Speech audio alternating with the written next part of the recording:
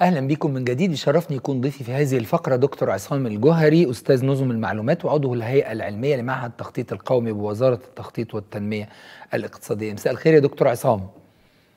مساء الخير يا فندم. أهلا بيك واهلا بالساده المشاهدين يعني آه، المنصة الجديدة منصة مصر الرقمية.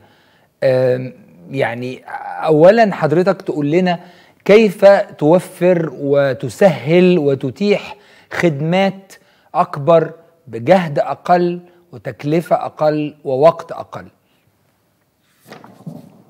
بسم الله الرحمن الرحيم. هو الأول النهارده محفل كبير جدا ويوم مهم جدا لتدشين منصة مصر الرقمية بشكل رسمي لأنها بدأت بالفعل آه، منذ شهور وكانت موجودة بشكل تجريبي آه، من باب الاعلان عنها من باب إن الناس تخش وتجرب الخدمات من باب إن وزارة الاتصالات نفسها تجرب مجموعة من الخدمات.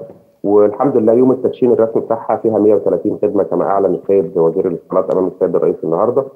آه، ال 130 خدمة آه، هم خدمات إلكترونية ضمن مشروع حكومة إلكترونية مصرية ضمن المشروع الأكبر للتحول الرقمي في مصر اللي المفروض فيه ثلاث محاور أساسيين محور للبنية التحتية آه، الخاصه بتكنولوجيا المعلومات محور خاص بالقدرات البشرية لقطاع تكنولوجيا المعلومات محور خاص بالإتصالات والإعداد لمراكز البيانات وخلافه.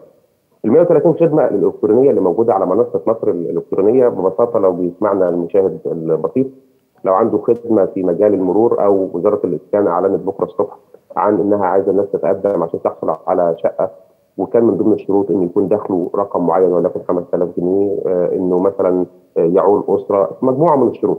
النهارده لو بتتقدم إلى هذه الخدمة من خلال منصة مصر الرقمية تقدر تبدي رغبتك وتعمل لنفسك حساب على المنصه مباشرة وتبدأ تعمل عملية حجز للشقة وتتولى المنصة إن هي اللي تتحرك وتروح تشوف البيانات بتاعتك ومدى صحتها في قواعد البيانات الأخرى في الوزارات الأخرى وخلافه وبالتالي بتوفر عليك وقت بتوفر عليك عليك آه، مجهود آه، راحة آه، بتزود الساتسفكشن أو أو الرضا ال- نسبة الرضا. عن أداء الخدمات الحكومية بشكل عام بتبعدك عن موظف ممكن تتعامل معاه يكون فاسد اداريا أو الكلام ده فكمان بتقلل الفساد وبتزود الحوكمه لها آه، مزايا عدة أهمها التسهيل على الناس رضا الناس آه، توفير وقتهم آه، زيادة الإنتاجية لأن أنت ممكن تاخد ثلاث أربع أيام على ما تجمع المستندات اللي هتبقى طالباها منك الجهة اللي أنت عايز تروح لها في حين إنها لو هذه الخدمة متكاملة وموجودة على منصة مصر الرقمية هتقدر توفر وقتك وبالتالي إنتاجيتك. يعني هو ده اللي كنا دايما بنقوله كنا دايما بنقول طب ما حضرتك يعني تدخل على ال ال الشبكة ال الحكومية للمعلومات وتجيب المعلومة اللي انت عايزها من الوزارة اللي جنبك أو من المكتب اللي جنبك وما تقعدش بقى تزهق الم- المواطن في انه هو يجيب البتاع وتقول ختم مش باين. عارف فاكر انت طبعا الحاجات العظيمة دي؟ و... ولازم تروح تاني عند أستاذ محمد ومدام زينب في مكتب مش عارف إيه في الدور الكام.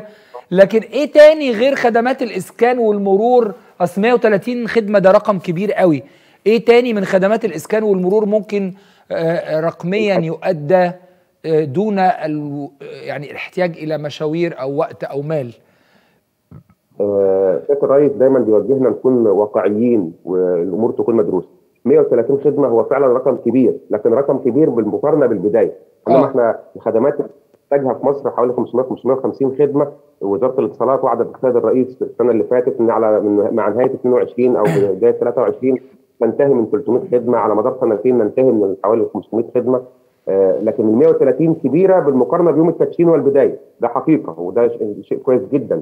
وكمان ناضجين. يعني أنا مش بعد خدمات لأ ده أنا بعد خدمات ناضجة. يعني فعلا مفعلة حقيقية تعمل مميكنه بالكامل مش الواجهة بتاعتها بس اللي على المنصة فقط لا غير هي اللي بتعمل والباك إند بتاعتها عند المو- ال- الموظفين ما بتشتغلش. فهو كبير بالمقارنة بالبداية. لكن إحنا لسه بنتطلع لأن كل الخدمات الحكومية تكون مميكنة. ضمن مشروع حكومة إلكترونية متكامل هيسهل أكثر في عملية التعامل مع كل الخدمات الحكومية للمواطن. فده إحنا منتظرينه يعني بالفعل وهم يعني قطعوا شوط كبير جدا. مصر يمكن نتيجة الثورات المتعاقبة في العقد الثاني من الألفية الجديدة. للأسف كانت تراجعت كثيرا في مجال الخدمات الرقمية وم- ومجال التحول الرقمي لأن إحنا كنا بدأنا قبل الثورة وكنا بنتبوأ مركز كويس جدا. الحمد لله بدأنا نتدارك هذه المواضيع الفترة اللي فاتت. كابتن الرئيس وعد بأنه يصرف على هذه المشروعات بشكل كويس بل بهم بل صرفوا بالفعل. زي ما الرئيس قال النهارده حوالي 100 مليار جنيه على مراكز البيانات على. المنشآت الخاصة بمراكز البيانات على عمليات البرمجة والشركات اللي بتشتغل على السوفت وير اللي اتعمل على المنصة اللي اتعملت. يعني على السحابة الإلكترونية المصرية اللي بتحمل هذه الخدمات لا استثمار كبير ولسه استثمارات أكبر هتتعمل. يعني من ضمن الاستثمارات اللي استثمروها كان استثمارات في العنصر البشري كمية المبرمجين المصريين اللي النهارده بيجيبوا دخل للبلد لما بيشتغلوا في ألمانيا ويشتغلوا في الخليج ويشتغلوا في أوروبا وهم قاعدين هنا في مصر. ده محور مهم جدا.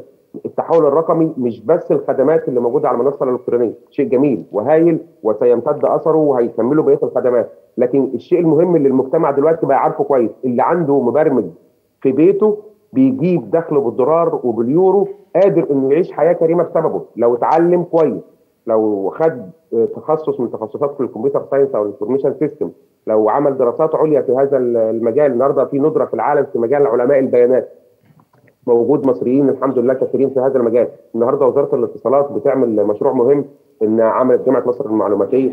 ده صرف على البنية التحتية للقدرات البشرية. عملوا مجموعة من البرامج والمبادرات الأونلاين في مجال التدريب على تكنولوجيا المعلومات سواء للشباب للنشأة أو للكبار. أتخيل وأتوقع أو إحنا بنطالبهم كمان إن هم يزودوا عدد البرامج التفاعلية اللي هو التدريب التقليدي اللي يكون فيه مشروعات وتدريب في شركات خلال الفترة اللي جاية كمان عشان نزود عدد المبرمجين اللي هيساعدوا الصناعة المحلية في إنها تنضج وتنمو ده رقم واحد. بيسافروا يشتغلوا بره بيبقوا مصدر دخل من العملة الصعبة. مبرمج واحد بياخد بره حوالي 15000 ريال بيبقى قد 6 7 عمال أو أو مهن أخرى بتعمل فبيدخل دخل البلد بشكل كويس. في منهم اللي بيعمل بنظام اسمه نظام ال outsourcing أو خدمات التعليم. بيشتغل جوه مصر لدول بره مصر أو لشركات في دول أخرى بيقبض بالدولار أو أو باليورو. ده استثمار في حد ذاته. الدولة طب اسمح لي يا دكتور بعد إذنك يعني آه عايزين نوضح ونبسط أكتر فكرة المبرمج الشاب دي. علشان يعني البعض بيتصور إنه لازم يخترع program جديد أو application جديد. فيقول لك يا عم أنا هخترع إيه بعد بعد اللي عاملينه بيل جيتس بقى والحاجات الكبيرة دي. لكن مثلا على المستوى البسيط يعني أنا مكتوب قدامي إن في خدمات في التموين خدمات في الشهر العقاري في المرور في الأحوال المدنية طبعا في الاتصالات. كل وزارة من دول أو كل خدمة من دول بتتقسم ل 20 25 30 خدمة جواها يعني. فده الموضوع بالنسبة للخدمات. بالنسبة بقى للمبرمج الشاب هل مثلا بعض المعامل بره مصر بتبعت لك بيانات وانت بتوضبها وبتبعتها مرة تانية هناك مين عليه الدور نتائج التحاليل إيه يعني دي برضو مسألة ما كناش عارفينها. فكرة ال software calling center مثلا أو حل المشاكل هل تقصد إيه بالمبرمج الشاب اللي عنده شاب عنده بيسمعنا دلوقتي وعنده شايفنا؟ لو يقدر على بعض مهارات الكمبيوتر وحضرتك قلت متعلم كويس ودارس كويس إيه اللي ممكن يبتدي بيه عشان يصل لفكرة إنه يجيب دخل كويس وهو قاعد في بيته دي؟ سؤال حضرتك سؤال محترم جدا ومحتاج إن إحنا نبسطه للي بيسمعنا مجال الطب يا فندم في كم تخصص في الطب؟ أعتقد 50 60 70 80 صح؟ مجال علوم الحاسب ونظم المعلومات أو المسمى الآن بالتحول الرقمي في مئات من الوظائف والتخصصات. في وظائف منها تتطلب مهارات عالية في وظائف تتطلب إجادة للغات برمجة في وظائف تتطلب إجادة لإنك تستخدم تطبيقات بشكل كويس. في وظائف تتطلب إمكانية وسرعة إدخال بيانات. في وظائف تتطلب منك يكون عندك إمكانيات الرقابة على جودة البرمجيات. فيها وظائف كثيره جدا. ممكن تبقى مبرمج ممكن تبقى مصمم. لو عندك الحس الفني عالي وما عندكش قدرات على إنك تبقى عارف لغة برمجة أو ألجوريزمات أو رياضيات. ممكن تبقى مصمم ممكن تبقى مراقب جودة. ممكن تبقى business process outsourcing اللي حضرتك لسه حكاها دلوقتي اللي هي خدمة تعهيد العمليات. أعهد إليك بعملية تعملها بالنيابة عني. زي إيه؟ زي الأرشفة.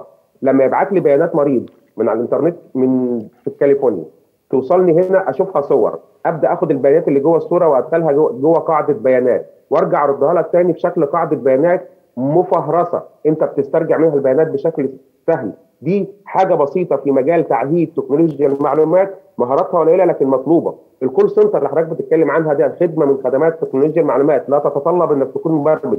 إحنا عايزين نطمن أهالينا إن ابنك لو مش مبرمج مش معناها إنه مش هيشتغل في قطاع تكنولوجيا لا. بالظبط. له وضع والمصمم له وضعه والمتعهد إليه بخدمة عمليات أو أرشفة له وضعه. الناس دي كمان لما بتكبر شوية وتاخد خبرات بتبقى اسمها senior أو team leader أو project manager في تخصصه الناس دي لما يعني في إمكانية لعلو السقف كمان في الشغلانات دي. كل هذه العمليات يا جماعة في مئات الوظائف في مجال تكنولوجيا المعلومات. مش مش شرط إن أكون مبرمج. بالمناسبة أنا لو عن بعلم 100 واحد في كلية الحاسبات والمعلومات بيطلع منهم 17 18 مبرمج. والباقي بيشتغل في العمليات بتاعة القطاع. من مصممين من مراجعين من محللين نظم من مراقبي جودة من من اخصائيه شبكات أو مهندسي شبكات. في تخصصات كتير جدا لكن في الآخر كلهم بيعملوا في مجال تكنولوجيا المعلومات. اللي هيقدر يعلم نفسه في التخصص بتاعه أكتر ويزود مهاراته أكتر ويشوف كل ما هو جديد أكتر هو ده اللي هيقدر. أنا كنت في محاضرة امبارح في جامعة من الجامعات بقول للطالب يا خريج كلية حاسبات أنت المليون جنيه هتقدر تعمله في سنتين. أنت لو اشتغلت ب 2000 دولار في أي شركة أو سورسنج في 24 ب 50000 دولار اللي هو مليون جنيه تقدر تحصل عليهم؟ نعم. بعد سنتين ثلاثة من تخرجك بعد سنة واحدة أو سنتين طب معلش يا دكتور بسرعة كده أنا لازم أختم بس عايز إجابة سريعة قوي. هل هذه الفرص عن ال ال ال العمل يعني ممكن يلاقيها بسهولة وهو بيبحث ولا برضه من خلال منصة مصر الرقمية ممكن يبقى فيه ده؟ طيب أتمنى إن حضرتك تصدقني وقبل ما أكون دكتور في تخصصي فأنا رجل صناعة وعضو غرفة صناعة البرمجيات وعضو مجلس إدارة شعبه الاقتصاد الرقمي وعضو مجلس إدارة اتصال و و وعندي من الشركات اللي بتعمل في مجال صناعة تكنولوجيا المعلومات البرمجيات بالتحديد. هناك ندرة شديدة في مصر في مجال المبرمجين والمصممين ومحللي البيانات. تخيل بعد كل اللي بتعمله الدولة ده ليه؟ لأن منطقة المنطقة الإقليمية حوالينا الخليج بالتحديد وأوروبا بالتحديد غرب أوروبا كمان بالتحديد. يعني كل شبابنا اللي, اللي الكويسين مستقطبين اقليميا واوروبيا. صدقني عندنا ندرة شديدة في هذا الموضوع. السؤال بقى أصله هل بسهولة؟ نعم بسهولة. بس حضرتك يعني ما تقراش كتاب وتتخيل إنك هتبقى الصبح مبرمج أو مصمم أو ديزاينر. لا أوه. لازم تعمل بإيديك لازم مهاره تكتسبها يا فندم دي صنعة. مهندس. صنعة تكتسب بمجموعة مهارات جنب القراءة ولازم يبقى في تراكم في علاقتك بهذا العلم يعني. أنا بشكرك يا دكتور. نورتنا وبعتذر مش قادر آخد أكتر من علم حضرتك يمكن في لقاءات قادمة علشان بس وقتي يعني عدى كتير على وقت البرنامج. شكرا جزيلا. بشكرك جدا دكتور عصام الجوهري أستاذ نظم المعلومات وعضو الهيئة العلمية لمعهد التخطيط القومي وزاره التخطيط والتنميه الاقتصادية. بشكركم. وبقول لإخواتنا الصغيرين وشبابنا بدل ما تتعب إن أنت تقعد تعمل فيديوهات يكون كثير منها ساذج عشان تاخد شوية لايكات و followers على أمل إن يجي لك فلوس أو تلاقي نفسك شاطر فتبتدي تفكر في ال hacking وفكرة الاختراق. ودي فكرة طبعا غير قانونية وممكن يكون نهايتها لا قدر الله قضية وسجن. فابتدي بقى طور مهاراتك ديت وتواصل مع الشركات العالمية وشوف وصلت لفين. وإن شاء الله يفتح ده فرص عمل كتير قدام كتير من أولادنا اللي هم بالفعل هايلين في هذا القطاع. أشكركم. بكرة إن شاء الله حلقة جديدة.